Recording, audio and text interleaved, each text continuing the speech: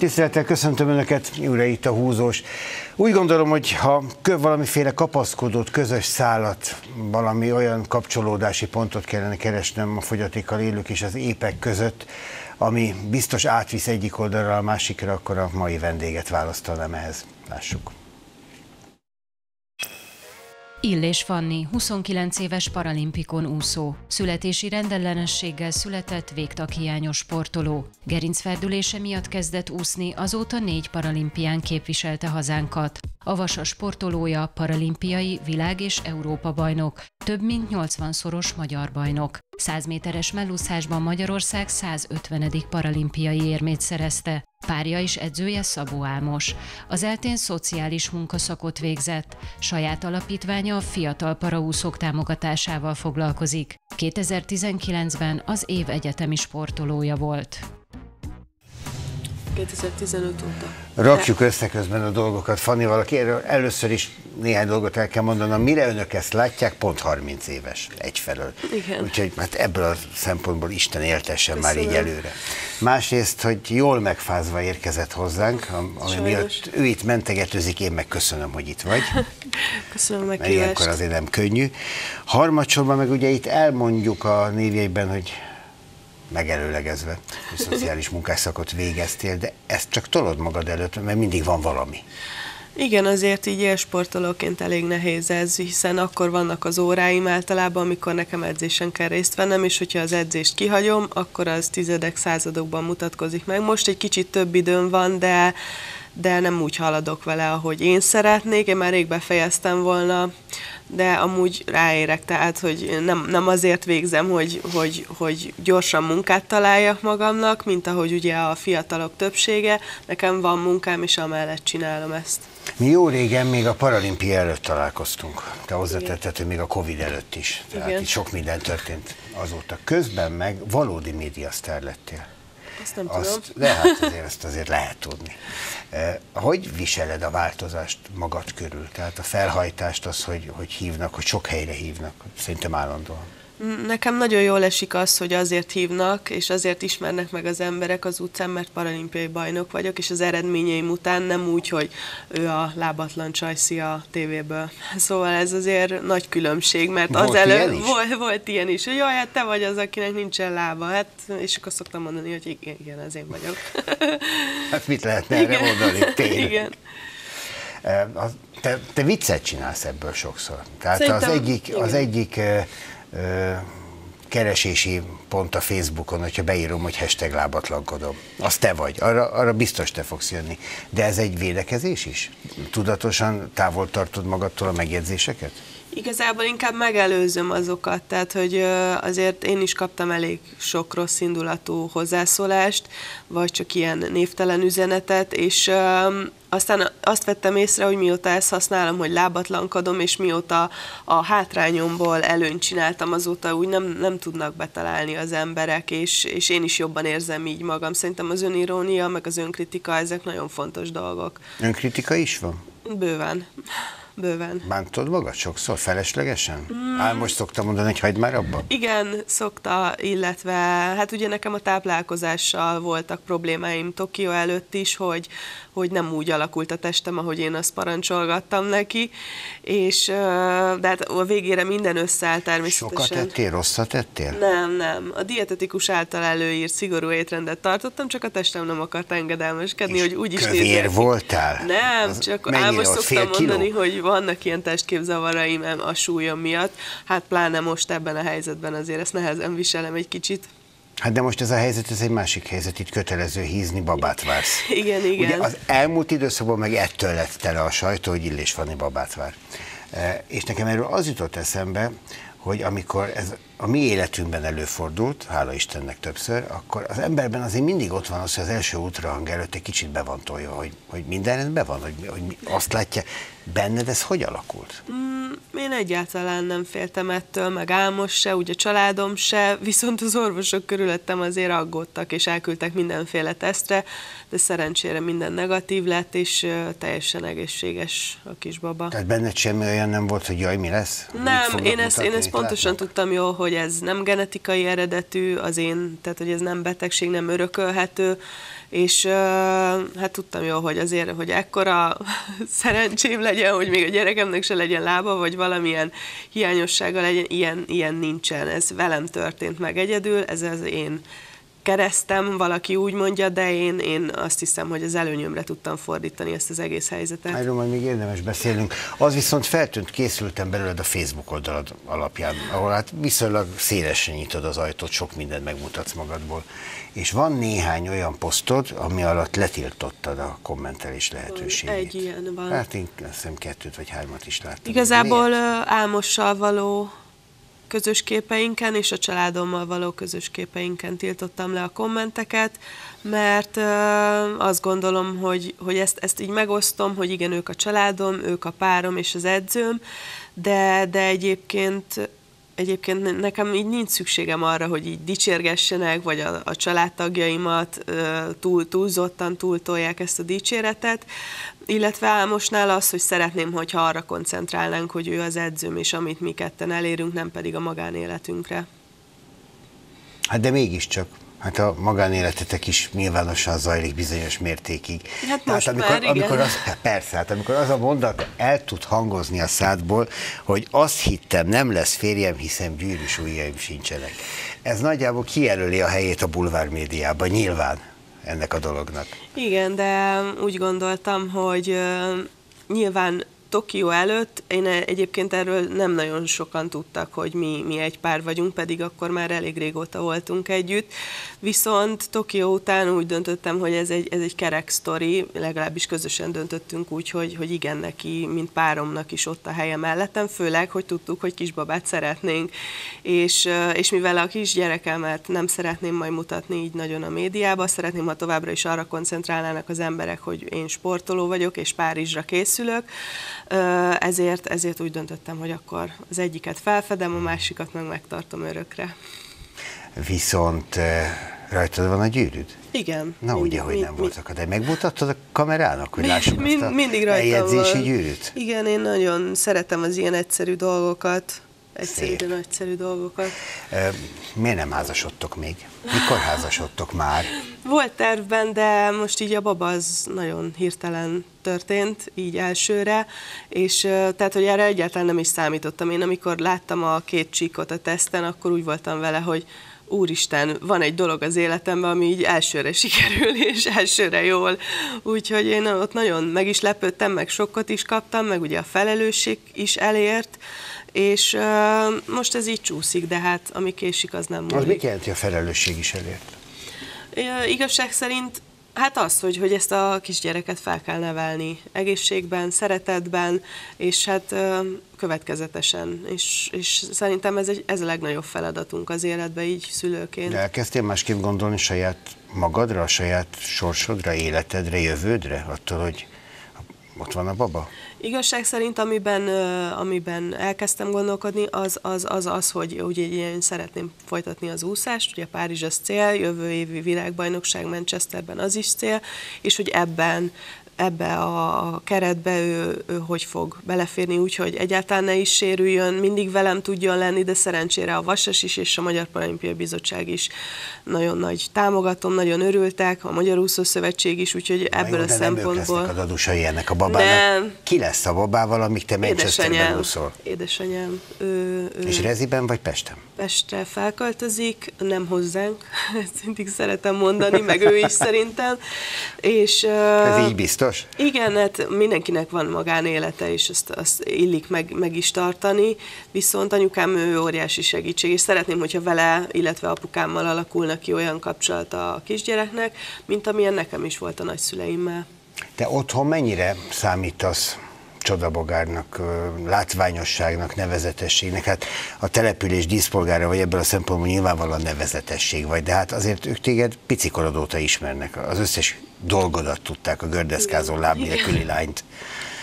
Ja, szerintem nem számítottam soha így csodabogárnak, elfogadták, hogy én, én ilyen vagyok, és mindig minden programban részt vettem, tehát hogy oda jártam óvodába is, általános iskolába is, rezibe, Úgyhogy én mindig aktív tagja voltam a közösségnek. Amikor elkezdtem kiszakadozni, az az úszás miatt volt értelemszerűen, hiszen azért több hetet voltam távol otthonról, de ők egyébként mindig is ugyanúgy kezeltek, mint egy átlagembert. Hát úgy is viselkedtél. Tehát hát, megtettél ez mindent a azért, normális. hogy ugyan ülsz azon a gördeszkán, nem úgy, mint a többiek, de gördeszkázol. Igen, igen. Ha mondjuk az elég hajmeresztő lehet. Tehát ezt szüleid hogy viselték a hajmeresztő dolgaidat? Mm, Szerintem lazán. Én is ilyen szülő szeretnék lenni. Igazság szerint nekik ezzel nem, nem volt így, nem, nem óvtak túl minket. Tehát, hogy tipikusan én úgy nőttem fel, hogy este miután lement a nap, és már, már tényleg már sötét volt, akkor anyukám kiabált, hogy most már befelé. Tehát, hogy én, én tipikusan ebben nőttem fel, amiről mostanában a mémek szólnak, ugye, az interneten. Nekem nagyon jó gyerekkorom volt, szerintem. Az, hogy te ott tartasz, ma ahol tartasz, az mennyire neveltetésed kérdése? Ezt most abból a szempontból is kérdezem, hogy mi szülők sokszor túlóvjuk a- az épp gyerekeket is. Tehát ide nem állsz fel, oda nem menj, oda már nem, nem menj át. Tehát eh, félünk, miközben, miközben te meg egy ilyen vagány csaj lettél. Nálunk ilyen nem volt azért, hogy így túlóvtak volna. Mindig mondták, hogy menjünk, csináljuk, csak, csak tudják, hogy hol vagyunk. Ez az egy volt a szabály, meg hogyha hazaérjünk időbe, a, a, tehát hogy abból mindig kicsúsztunk szerintem a tesómmal, de, de tényleg mi, mi azért elég tudatosak voltunk, akkor is tudtuk, mit szabad, mit nem szabad, meg tudtuk, mivel jár, hogyha esetleg megszegjük a szabályokat, általában szobafogsággal, az azért nagyon rossz tud lenni egy ilyen vidéki környezetben, ahol tényleg akkor még kerítések se voltak, minden, mindenki udvara, mindenkié volt, és az erkéről nézve én volt olyan, hogy onnan néztem őket két hétig, hogy de jó, hogy játszanak, én meg ott szívok a Hát akkor nagy szobába. disznóságot csináltál. Két igen, hét szobafogságért. Igen, igen, igen. Az mi volt? Szerintem az egyik az az lehetett, amikor hármast hoztam, szóval a anyukámék azért nagyon figyeltek arra, hogy jó tanulók legyünk, és mindig el is magyarázták, hogy miért kell annak lennünk. A másik nem, nem emlékszem, biztos a tesómat vertem meg. Megverted a Persze, mi azért sokat verekedtünk, igen. Hát azért öt év van köztünk, és, és, és nem tudom, valahogy így ott, ott akkoriban ez volt a szokás, mindenki verekedett a kis testvérével. Hát amennyire én otthon látom, ez most is így De ő jó fej volt között. velem, én voltam, én voltam rossz arc vele amúgy. És ez hogy egyensúlyozódott ki az idők során? Hát egyszer csak megnőtt, aztán már magasabb volt jóval, mint én. nem, amúgy viccelek. De nem, egyszer csak, tehát hogy, hogy korban Abba is. felnőttetek Igen, hozzá. igen, jó, jóba lettünk nagyon. Azt mondod, édesanyád felköltözik Budapestre. Terveink szerint. Az, az, az neki egy nagyon komoly életmódváltozás lesz majd. Igen. Tehát ő ugye a, a postás reziben, tehát az egy, az egy életforma. Nem, ő már a hévizitónál dolgozik, és ö, tehát, hogy ezt a postás dolgot ezt elengedte, viszont ö, itt két évről van szó Párizsig, utána már, már ő, ő visszamegy vidékre, mi így tervezzük meg ő is szerintem. Hiszen még van pár évvel nyugdíjig, szeretné befejezni, és utána nyugdíjas éveit Akkor most itt főállású nagymama lesz két évig, aztán visszakapja az életét. Igen, igen, És te körülbelül. biztos vagy benne, hogy Párizs után nem folytatod? 32 leszel, még mindig, hogyha ha, ha meg vagy erőben, akkor azt lehet. Én egyáltalán nem tervezem még a pályafutásom befejeztét. Nagyon sokan, akik így nem kedvelnek, vagy hogy is mondjam, ők már, már Rio után azt mondták, hogy jó lenne, ha abba hagynám. Aztán milyen jól tettem, hogy nem hagytam abba. És ö, tényleg nem látom a végét, mert, mert nekem ugye most jött el ez a siker széria, hogy, hogy végre a munkám gyümölcse az beért, és, és aranyérmeket, meg érmeket tudok nyerni. Mm, Én nem hiszek abba, hogy a csúcson kell abba hagyni. Szerintem akkor kell abba hagyni, amikor már egyáltalán nem érzed a motivációt, és azt érzed, hogy, hogy nyűg lemenni edzésre, utálsz ott lenni, és én egyáltalán nem érzem még ezt. De most minek jársz edzeni? Most voltál egy hónappal ezelőtt edzőtáborban. Igen. Tehát miközben várod a babát, tehát mire, ma mire készül? Szülésre vagy versenyre? Hát most szülésre készülök, de úgy gondolom, hogy nálam az ért volna fel egy öngyilkossággal, hogyha így, amint megtudom, hogy én várandós vagyok, abba hagyom a sportot, és otthon vigyázok magamra, mint egy hímes tojásra.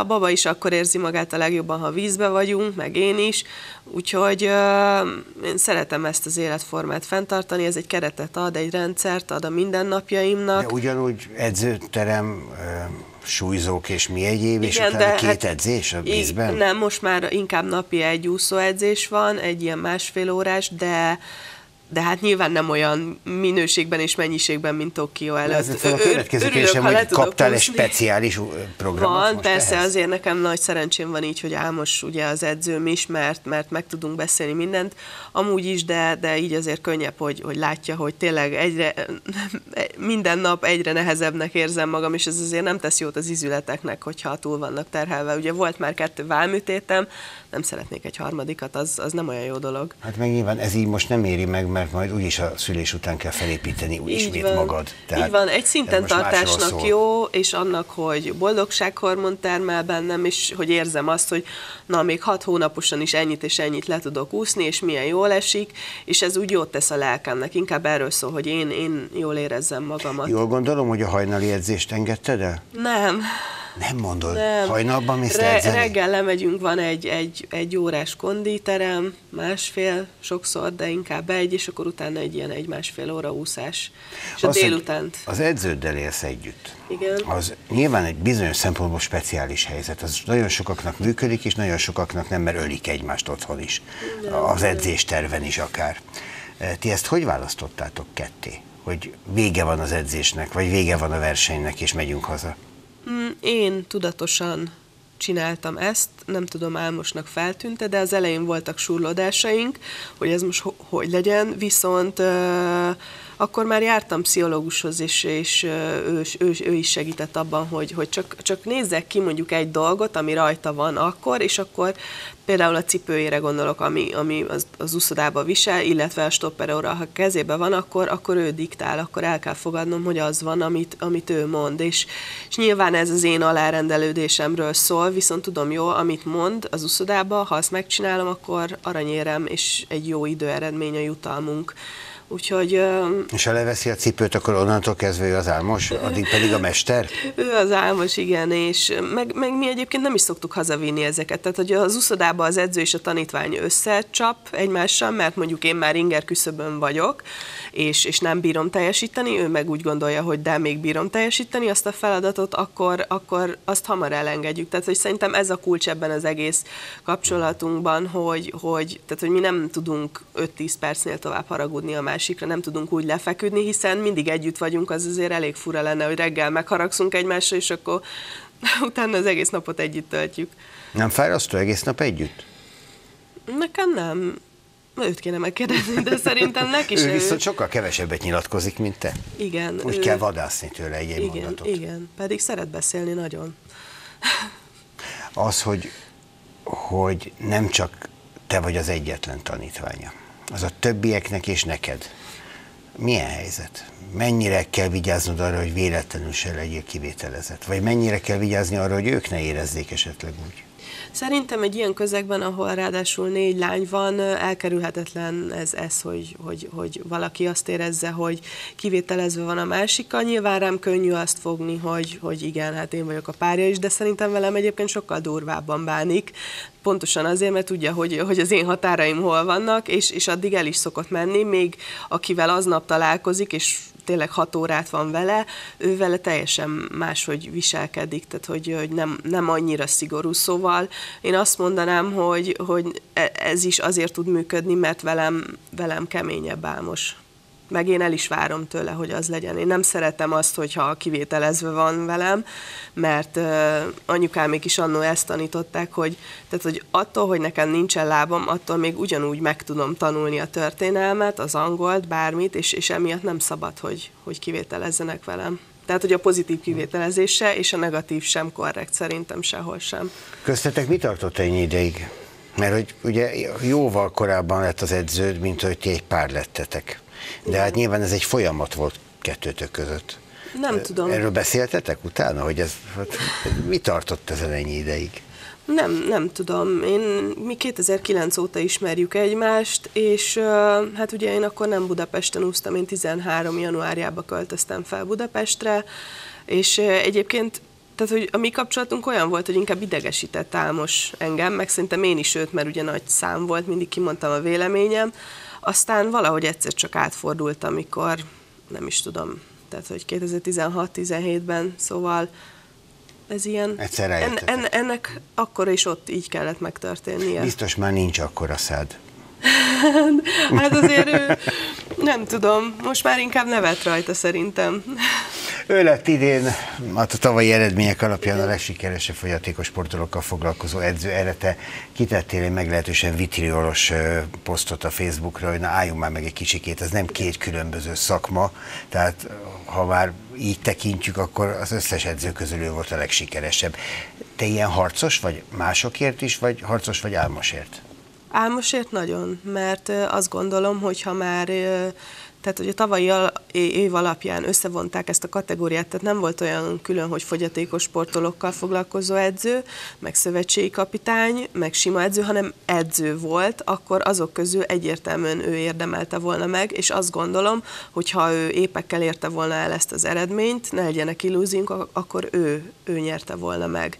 Viszont mivel parásokkal érte el, ezért külön csináltak neki egy díjat, amit utólag kapott meg, mert voltak, akik nem felejtették el. Ez egy nagyon szép gesztus volt, de ez szerintem ez nem volt így Ez a korrekt. kettőség, ez változatlan a magyar sportban? Tehát vannak az épek és a parások, és a kettőt nem egy szinten kezeljük? Szerintem továbbra sem egy szinten van a kettő, nyilván közelebb van, és, és mindig azt kell nézni, hogy félig tele van a pohár, de az még mindig csak félig tele van, és nem teljesen tele, De miben úgyhogy érzitek? Mondjuk ez a példa, ez egy jól megfogható, megragadható példa, de egyébként miben érzitek a különbséget? Egyébként támogatásban szerintem ott is egyre jobb a helyzet. Nyilván nem lehet az, hogy, hogy most akkor mi mindent megkapunk ugyanúgy, mint az épek, mert, mert valahogy így a vezetőségnek meg, tehát hogy mindenkinek, az emberek fejéig is el kell jutni, de azt gondolom, hogy, hogy De Toki, ne lehetne, hogy ugyanúgy megkapjatok mindent, mint az épek? Tokió után, hát Mert most ugye mondtál egy ez mondatot, egy ami folyamat. igazolja voltak Ez- éppen ez azt, egy hogy jó, folyamat. persze jól van ez így. Nem, nem, nem, nincs ez így jól, és mi pontosan ezért küzdünk minden nap, de, de azt is kell látni, hogy azért haladni kell. Tehát, hogy mm, mondjuk 15 évvel ezelőtt még azt se tudták a magyar emberek körülbelül, hogy van ilyen, hogy fogyatékos sport. Most Tokió után pedig teljesen megőrültek értünk, és, és nem értették, hogy miért nem közvetítik mindenhol ugyanúgy, mint az olimpiát, a paralimpiát is élőben. Továbbá mindig kíváncsiak, hogy az Európa-bajnokságot hol lehet követni, a világbajnokságot, és, és ez, ezek nincsenek tévében, csak online streamen érhetőek el. Szerintem ez, ez a Tokió volt az átütő erő, viszont több ilyenre van szükség, mert négy évente van paralimpia, most mondjuk három év múlva jön, de hogy közben mi azért érünk el eredményeket, és van teljesítmény mögöttünk. De én azt érzem ám, hogy a tokiai győztesek, meg érmesek közül is igazából te lettél asztár. Tehát, hogy, hogy ugye, hogyha megnézzük a tokiai eredményeket, akkor az épek olimpiai bajnokai, azok egyenként külön-külön is sztárok, nyilván ki mennyire hajlandó a médiának helytállni.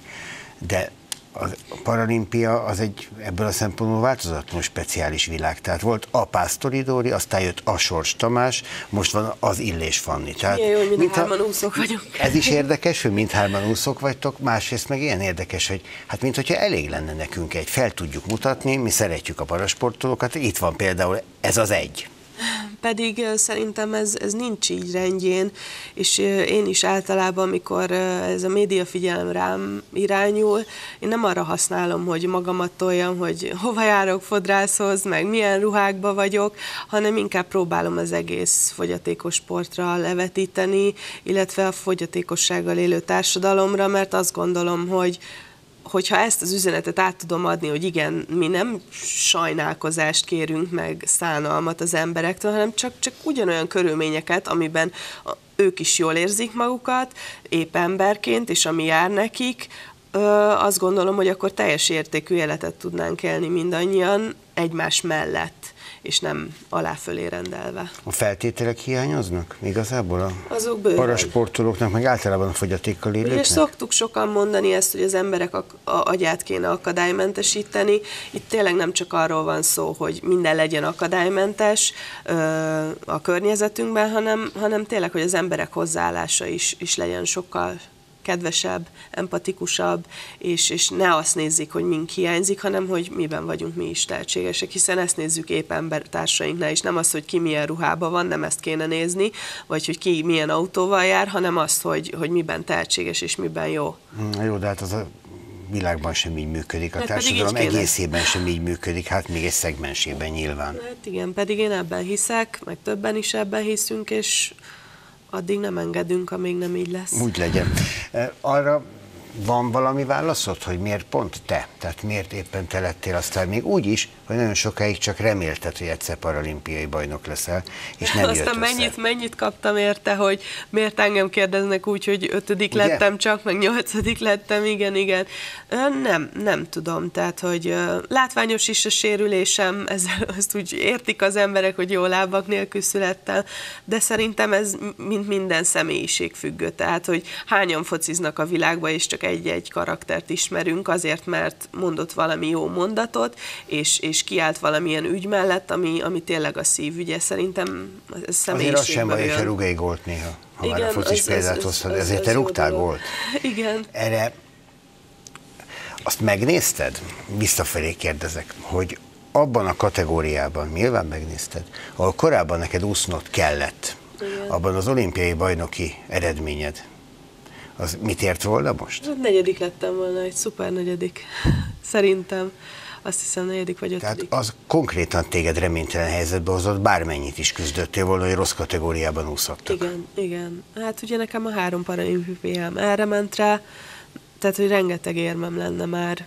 Mert ugyanazokkal az eredményekkel, meg a saját kategóriában akkor is nyertél volna. Hát ha nem is nyertem volna, hiszen edzeni azért kell keményen, de, de ugye ne, nekem is végig megyünk egy fejlődésen, mondjuk tíz évvel ezelőtti időmmel akkor abban a mezőnyben nem tudtam volna nyerni, hiszen nem voltam még olyan edzettségi szinten, mint mondjuk Tokió előtt. És hát igen, nekem ez a 12 év rossz kategóriában való versenyzés, ez azért meg is erősített, meg én, én szeretem az előnyét látni, de azért sokat el is vett belőlem, mint emberből. Van abban is igazság, hogy attól vagy ma ilyen jó, mert hogy annyira magasra tették a lécet, annyira kapaszkodnod kellett, hogy sose lehetett hátradőlni? Mert mindig elérhetetlen volt a cél? Igen, meg uh, én azért olyan vagyok, hogyha így uh, minél többször ütlegel az élet, annál keményebben térek vissza, és uh, egyébként ez igaz arra is, hogy, hogy én nagyon sok szerencsére nekem nagyon sok támogatóm van, és nagyon sok ember szeret, és, és na, rengeteg üzenetet is kapok tőlük, viszont egy-egy negatív üzenet akkor át tud rajtam dobni, mint száz pozitív Tehát nem a földhöz ver, nem. hanem feldob, hogy csak azért is. Igen, igen. Én, én így működök. Furcsán. Igen. De hát valószínűleg ez a sportoló képségeinek egyike, tehát ez a, mint a gumilabda, visszapattanok. Valószínűleg, és, és most is uh, hallottam már ilyen uh, vízhangokat ugye a várandósággal kapcsolatban, hogy majd nem tudok visszatérni, már abba kellett volna hagynom, és ezek mind-mind úgy megerősítenek, hogy... még. igen, igaz? igen, meg hogy tényleg minek van már itt, foglalkozzon a gyerekével, ezek, ezek mind-mind úgy megerősítenek, hogy szerintem még jobb leszek, mint Tokióban. Azért mi emberek elég aljasok tudunk lenni, összeszedjük magunkat. Főleg nem szemtől szembe ezeket gondolom, Jaj, nyilván hát nem, nem szemtől szembe kapod. soha nem szemtől szembe, mindig. Sose értettem azt, azokat az embereket, akik, akiknek van annyi idejük, hogy külön létrehozzanak egy kamu profilt, és arról írjanak nekem e-mailen akár, vagy bárhol üzenetet, és ilyen minap kaptam múltkor egy ilyen pocskondiázósat, hogy nem is tudom, össze-vissza beszélt, tehát, hogy szegény nem volt a biológiából a toppon, de jót nevettem rajta. M- m- írtam is, meg ki is tettem, hogy, hogy akik fel akarják dobni a napomat, nyugodtan ne habozzanak, írjanak több ilyet. De vannak olyanok is, és azok viszont szakmabeliek, mondtad az előbb egy fél mondattal, és azt, hogy elengedtem akkor, akik mondták, hogy abba kéne hagynod. És nem most, hanem a sikertelenség okán, a sikertelenség nekem legyen mondva. Tehát, hogy, hogy nem mindig értél oda a dobogóra. És, és az embert azért, hogyha a szakmából jön, tehát az úszótársaitól vagy edzőktől jön, akkor nyilván elgondolkoztatja, hogy lehet, hogy igazuk van. Nem, mert nekem elég volt, hogy egyedül álmosít bennem, és akkor még mint az edzőm. Szóval, meg a családom. Nekem, nekem egy ez... közvetítésből kaptad? Nem, mi ismertük egymást, viszont 2012-ben én nagyon szomorú voltam, hiszen nyolcadik lettem rá, de úgy jutottam be, hogy szerintem milyen isteni csoda, hogy egyáltalán bejutottam a döntőbe száz mellen, és ott nyolcadik lettem, nem is úsztam egyéni csúcsot, és Hát ugye ott nagyon úgy voltam, hogy úgyis meg kell műteni a vállam, abba hagyom, max feljövök Budapestre az egyetemre, mert ugye felvettek az eltére, és de hát, hogy nem, nem terveztem így nagyon az úszásra, és akkor apukám mondta, hogy nézem vissza a londoni közvetítéseket, hogy, hogy Álmos miket mondott rólam a tévében, és, és szerencsére rátaláltam, és akkor láttam a szemembe ugyanazt a csillogást, amit mindig is éreztem magamba, hogy, hogy, hogy ebből még lesz sokkal jobb eredmény is, csak valahogy egymásra kellett találnunk, mint edző-tanítvány is. Ennyi múlik az edzőn, mi versenyző életében? És most független a személyes kapcsolatotoktól, tehát az, hogy van egy, van egy olyan edző, aki hisz benned, az elég lehet ahhoz, hogy másnap is nem menj edzeni? Én voltam öt évig Zalaegerszegen, nem volt jó kapcsolatunk az edzőmmel, és meg is viselt az az öt év egyébként, mert valahogy sose találtam a helyemet, sose voltam jó, ha jó voltam, akkor se voltam jó. A mai napig jóba vagyunk egyébként, csak többet nem ne legyünk edző-tanítvány kapcsolatba egymással. Igen, szerintem egy jó edző az főleg így, így a paraszegmensben rengeteget tud adni ehhez az egész dologhoz, mert, mert mindig, mindig a sportolót sztároljuk, hogy milyen ügyes, és eléri az eredményt, ha meg nem, akkor az edző a hibás, ez, ez ugye tipikusan így van, viszont ez, ez közös siker és közös bukás is nem működik az egyik a másik nélkül. Ebben az aranyéremben, hát voltak éppen mindened benne van, a, a szakmai életed, a magánéleted, ez az aranyérem, ez mindent kifejez. Szoktad dédelgetni otthon, vagy ez is hozzá lehet szokni, hogy ott van? Nem, most már leszoktam róla, most a polcon van a kis dobozába. Szerintem meg is sértődött a többi érmem, hogy ő nincs otthon, reziben, de nem szeretném hazavinni, ő legalább legyen ott velem. Ez az egy érmem, ami Budapesten van. Hát meg lehet szokni, de, de úgy azért jó, jó érzés, igen. Tehát, hogy, hogy nehezen szoktam meg, hogy sikerült végre. Szóval ne, ne, nekem a sikert nehezebb feldolgozni, mint a kudarcot. Nem a siker visz előre, hanem a kudarc. Igen. Furcsa. A fogyatékkal élők keresnek téged, hogy mondj valamit, hogy hogyan lehet, vagy hogy kellene, vagy, vagy te mondod magadtól, és aztán aki tudja, felhasználja.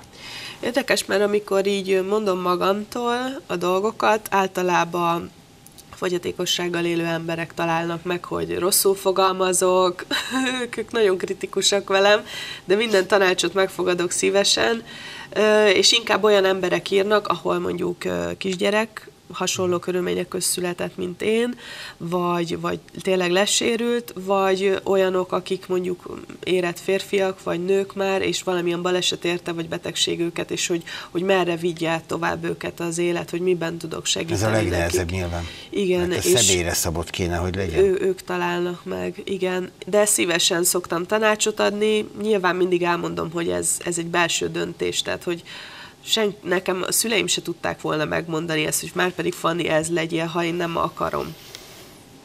Tehát, hogy ez, ez rajtunk múlik minden döntés kérdése. Hát nyilván, de az, hogy a szüleit hogy nevelnek, vagy hogy elvisznek-e az uszodába, vagy hogy édesapád azt mondja, hogy nézd meg a, a közvetítést, mert abban ő tudja, hogy te táplálkozni tudsz. Az nyilván azért egy szülői döntés, egy szülői akarat, egy hozzáállás. Igen, az erre, nagyon fontos. Erre szoktam gyereknek. mondani, hogy én a lehető legjobb helyre születtem, és Nyilván nagyon sokszor össze is veszünk, mert ilyen kicsit olaszosan éljük az életünket, meg mindenki... Mindenki nagy szájú a családban? Uh, igen, de szerintem nem én vagyok a legnagy szájúbb, hanem a testvérem meg anyukám. de hát mi így élünk, boldogok vagyunk, szeretjük egymást, de ha valaki valamit elront, vagy tényleg hibázik, akkor, akkor azt is elmondjuk a másiknak. Tehát, hogy így nincs, nincs ez az állandó simogatás, hogy milyen ügyes vagy, és szerintem ez így jó, hogy egy egyensúlyban van. Mit szoktál mondani azoknak a szülőknek, akik hasonló gyereket kaptak az élettől, vagy a sorstól, vagy az égiektől, mint ahogy te születtél? Azt szoktam mondani, hogy bánjanak velük ugyanúgy, mint ahogy, tehát hogy ők, ők is elvárnák.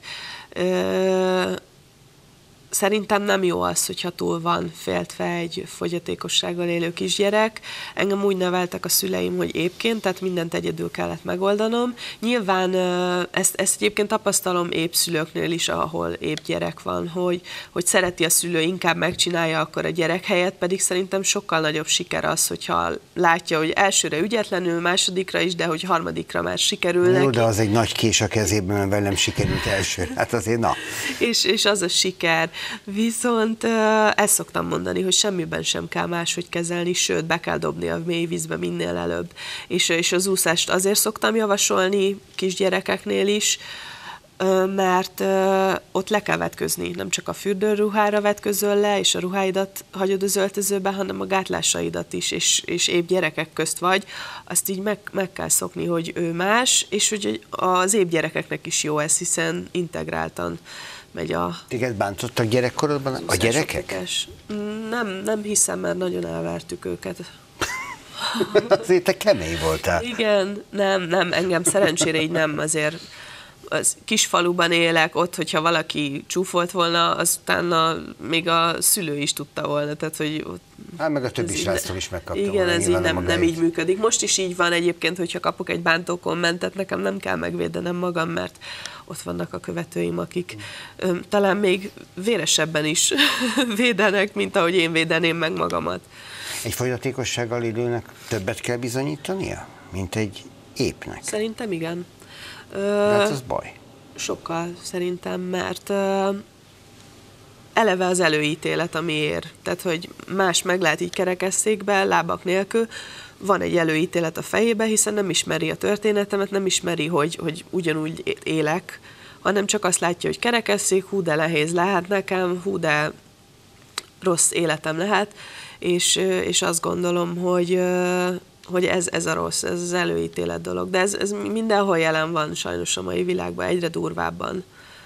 De ez, ez egy gyereket is ér? Tehát ezt egy, egy gyereknek meg kell tanulnia? Meg, ez a, meg az ő edukációjának a része, hogy, hogy ő neki többet kell? Nem is az, hogy többet kell, de hogy, hogy igen, sajnos meg kell mutatni azt, hogy már pedig én képes vagyok rá. Én is ezt, ezt, ezt unom a legjobban, ha lehet így fogalmazni, hogy, hogy mindig megkapom azt, hogy már pedig én nem leszek erre meg arra képes, és akkor mindig bebizonyítom, hogy igen, és ez annyira fárasztó tud lenni, hogy, hogy nekem nem más mondja meg, hogy én mire vagyok képes, hanem had, had, az a, had mutassa meg, és az alapján ítéljenek meg az emberek, ne, ne az alapján, amiben vagyok, amilyen helyzetben vagyok. Hát Álmos a könnyű lehetett a helyzetem, mert a medence partjáról ő látta, hogy mire vagy képes. Igen. Hát pont, pontosan tudta, hogy rád lehet bízni a sorsodat. Igen, igen. Szerencsére nem tudom, én elég karakán is vagyok, meg őszinte típus is, meg sajnos sokszor elég nyers is, de, de amit kitűzök célt, azt addig csinálom, amíg nem sikerül. Sokat veszekszel? Vagy simán Kivel? megversz bárkit, mint gyerekkorodban?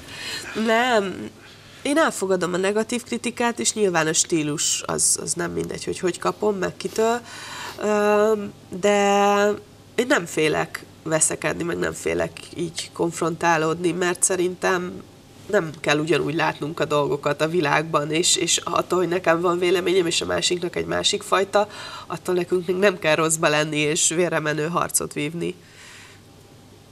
Hát ezt a politikusoknak is el lehetne mondani egyszer. Hát, ha ők is meghallják valamikor, amikor te beszélsz.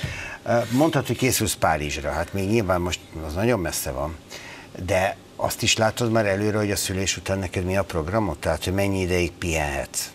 Mikor kell elkezdened edzeni? Mikor, hol kell tartanod Párizsig? Tehát be van osztva a következő bő két éved? Nekem szerintem szigorúban van beosztva a fejemben, mint ahogy Álmosnak, mert ő is úgy van vele, hogy jó, hát majd megszülöd, és akkor utána majd ahogyan, de nekem tényleg van, van olyan a fejemben, hogy én szeptember közepe végén én már szeretnék újra vízbe lenni. Nyilván akkor, hogyha úgy alakul a szülés, ahogy én ezt a fejemben elterveztem. Ez egy programozott szülés lesz, Nem. vagy ahogy, ahogy az élet adja? Ahogy az élet adja, én ebben hiszek, és nagyon szeretném természetes úton megszülni a kisbabánkat. Tehát akkor ilyen időpontod nincs szemben az összes többivel. és azt tudod, hogy fiú vagy lány? Persze, hogy tudod. Tudom, de ezt nem áruljuk el. Tudjuk, igen, és minden úgy alakult, ahogy én azt szerettem. De az, hogy elzárod a nyilvánosságtól, az ilyen szintű lesz? Tehát, hogy még azt sem mondjuk el, hogy fiunk vagy lányunk született, De nem azt el, igen, hogy hívják. meg majd szeretném egy, egy képen, ahol így nem nagyon látszik az arca, de megmutatni, hogy igen, van keze lába, hogy az embereket tényleg meg, megnyugtassam, meg nyilván jelen lesz a közösségi oldalaimon, csak nem olyan szinten. Nem mint... csinálsz belőle sztárt. Nem, és nem szeretnék belőle megélni. Tehát, hogy én nem szeretnék influencerkedni gyerekcuccokkal, gyerektermékekkel, és hogyha így is alakulna ez a történet, akkor is már kitaláltuk Álmosra, hogy csinálok egy takarékszámlát, és az, az mind-mind neki megy, az ebből befolyó összeg. Ha esetleg... Van a fejedben hát igen, mert opció. már kaptam ilyen felajánlást, tehát hogy amint kiderült a terhesség ténye, meg ugye, és kaptam ilyen felajánlásokat, de nyilván itt is azért meg kell válogatni, hogy mi az, ami jó, mi az, ami nem. Eddig mindenre nemet mondtam. Hát akkor olyan sok jó ajánlat nem, nem. Van neked mint ahogy a világsztároknak szokott lenni menedzsmented, amelyik Nekem intézi van. helyetted a dolgaidat? Van, igen. És a... ők meddig nyúlhatnak bele az életedbe? A párt menedzsmentnél vagyok, dr. Bogdán Csaba a menedzserem.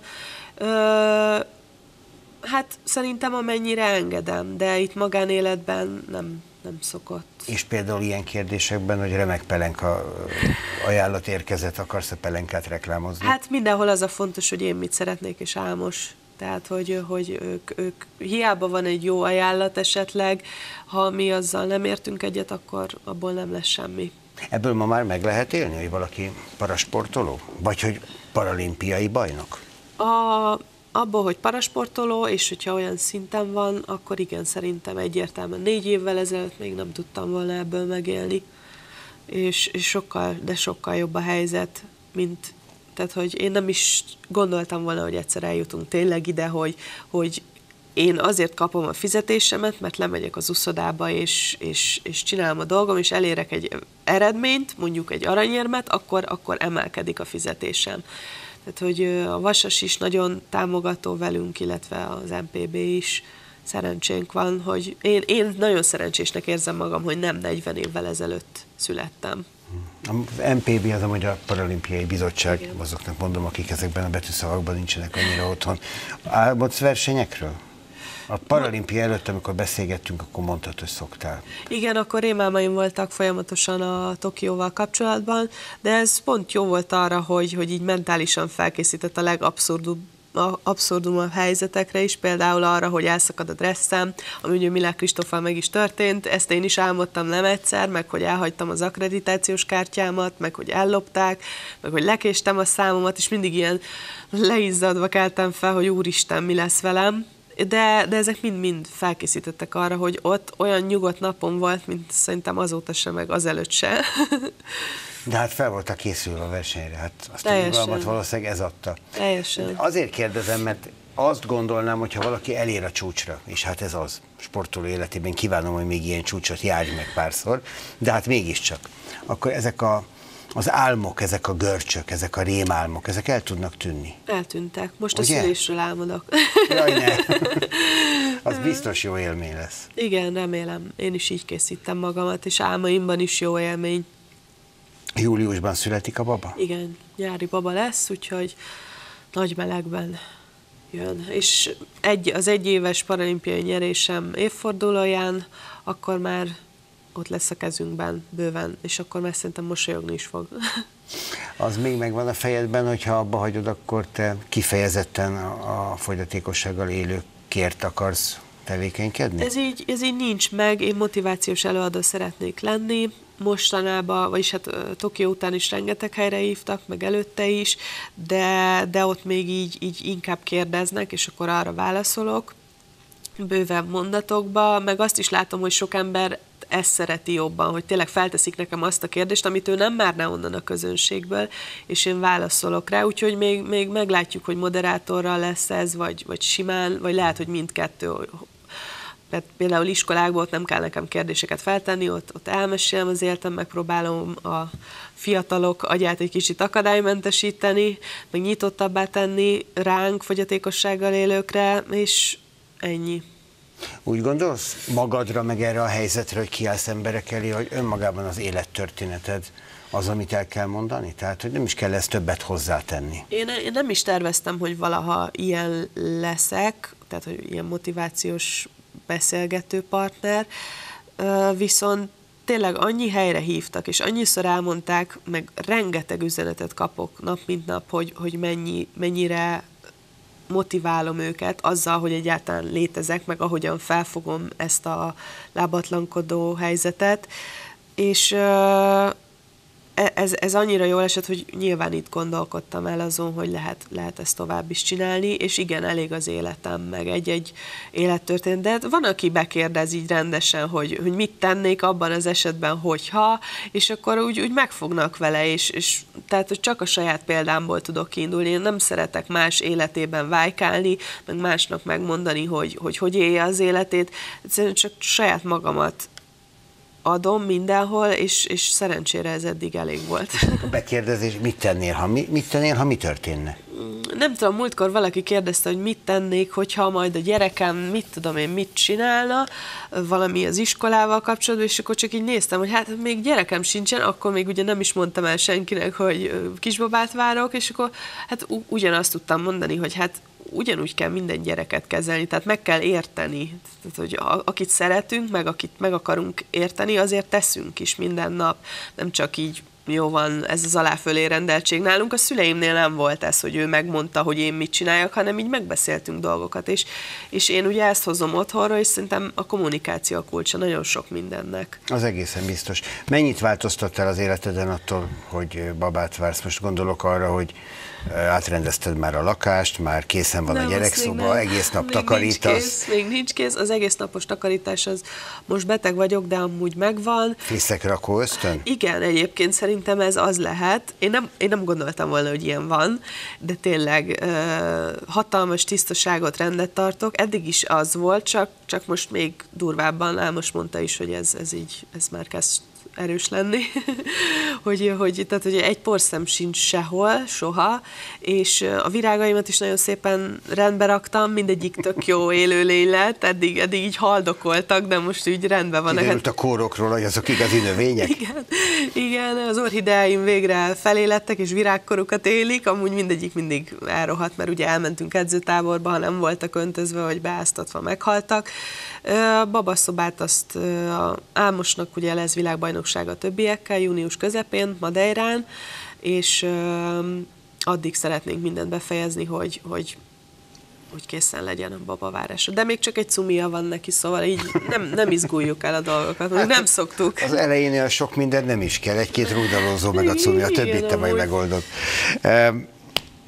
Azon gondolkozom, hogy Ugye a következő hónapokban nyilván arról szól majd minden, hogy babát vár, megszülte, hogy hívják, mekkora, milyen súlya, stb. Igen, van kezelába, igen. Tehát, hogy az életedet ez is nyilván átalakítja majd, hogy, hogy erre vonatkozóan egy nyomás is lesz rajtad, hogy erről valamit mondani kell majd, mert hogy nyilvános lett, hogy babát vársz. Igen. Hát innentől kezdve minden nyilvános lesz. Hogy ez egy másik fajta, itt a magánember is szerepet játszik már? Hát az én magánember részem szerintem elég szigorú és következetes, szóval igen, meg, meg tudom ezeket a korlátokat szabni, hogy meddig lehet elmenni. Hát ez egy új élethelyzet, még nem vagyok benne teljesen, majd meglátjuk, hogy hogy alakul. De azt szeretném, hogyha a sportolóként tekintenének rám, és szeretném azt közvetíteni, hogy igen, édesanyaként visszatérni bármilyen eredményt elérni, az, az, az mekkora magasztos dolog, mert, mert valahogy így, így az épp anyukáknál is elfelejtjük ezt az épp sportoló anyukáknál, hogy, hogy, hogy azért ők, ők nem csak sportolók, hanem nevelnek egy gyereket, egy-kettő-három gyereket, és emellett edzenek, és, és ott hagy, otthon hagyják őket három-négy hetekre, amíg ők elmennek edzőtáborba, és hogy ez, ez micsoda lemondásokkal jár, de közben meg ettől kerek a mi életünk, és, mm. és ezt meg kell tudnia mindenkinek. Nagy tímelt szoktam ez ügyben példaként hozni, ugye sok gyerekes anyaként Igen. lett még olimpiai bajnok újra, az is egy fantasztikus Igen. pálya. E, igen, de tőled lehet, hogy azt is várják majd, hogy azt is megmutasd, hogy ugyanúgy, mint egy épp anyuka, pontosan ugyanúgy tudsz lábatlankodva is anya lenni. Ezt szeretném is megmutatni. És akkor rögtön ez egy másik szerep, látod? De egyébként, tehát hogyha valaki a közösségi oldalaimat nézi, tehát, hogy sokkal több szól arról, hogy én a magánéletemben, meg így emberként, hogy élek, meg hogy, hogy kezelek dolgokat, mint mint az uszodában, mert egyébként megmondom őszintén, már nagyon unom azokat a képeket, hogy ugye mindig edzés közben látnak, és akkor így szeretem feldobni, aztán egy kicsit átbillenünk arra az oldalra, hogy már csak úgy látnak, hogy szárazföldön, és edzés közben nem is. Szóval ez nehéz szerintem ez, ez a mai világban. Kívánok neked nagyon boldog anyaságot, Köszönöm. és újabb hegycsúcsokat a pályafutásodon. Köszönöm, meg lesz. Remélem is, és köszönöm, hogy itt voltál. És jobbulást kívánok. Köszönöm szépen. Én azt gondolom, hogy akárhányszor hívom, az mindig példaértékű, amit hallunk tőle, ez most is hívott Illés Fanni volt a vendégünk. Egy hét múlva megint jelentkezünk a húzóssal, tartsanak velem akkor is viszontlátásra.